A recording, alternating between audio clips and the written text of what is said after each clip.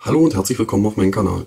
Rechts oben steht Dauerwerbesendung, die steht dort aus rechtlichen Gründen. Dieses Video wurde aber von niemandem finanziert, unterstützt oder was auch immer.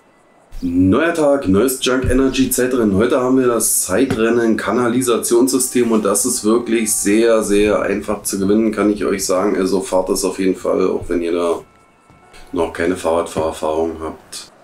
Wir sehen das Rennen hier auf der Karte in der Nähe vom Casino, etwas südöstlich. Und wir starten das Ganze auch gleich mal. Wir haben eine Zeitvorgabe von zwei Minuten und das ist wirklich ganz bequem zu schaffen.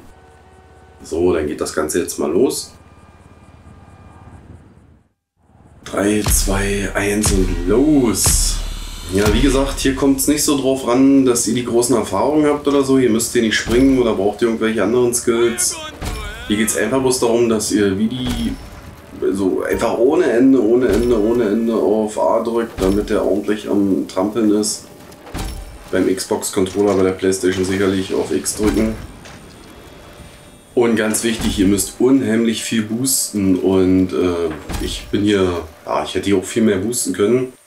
Ich wollte aber nicht, weil ich dachte, manchmal verpasse ich hier irgendwo eine Kurve oder sowas, aber da war ich ein bisschen übervorsichtig. Aber das ist ja wurscht, weil es ist ja egal, wie schnell ihr ins Ziel kommt, ob ihr jetzt äh, in eine Minute 59 dort eintrudelt oder in einer Minute 49 oder so, das ist ja komplett wurscht.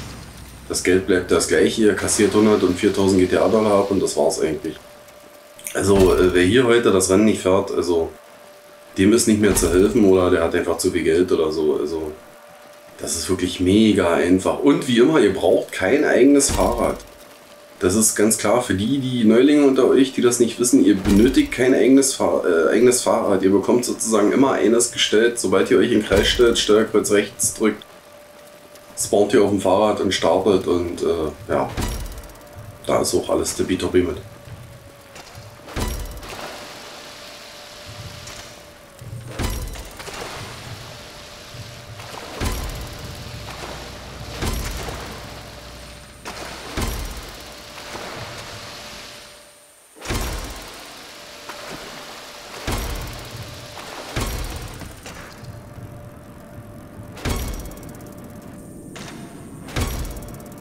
Wir nähern uns jetzt dem Ziel und hier ist auch schon Sichtweite und zack, jawohl, 1 Minute 51, 508, also rund 8,5 Sekunden unterboten, das Ganze 104.000 Dollar abkassiert. Was will man mehr? Das war ganz chillig, das war ganz einfach. In unter 120 Sekunden 104.000 Dollar, tippitoppi. Ja Leute, dann wie immer nicht Like und Abo nicht vergessen. Beim Abonnieren die Glocke mit aktivieren. Schreibt was Nettes in die Kommentare, Anregungen, Kritiken, Glückwünsche, was auch immer. Ja, dann vielen Dank fürs Zusehen und bis später.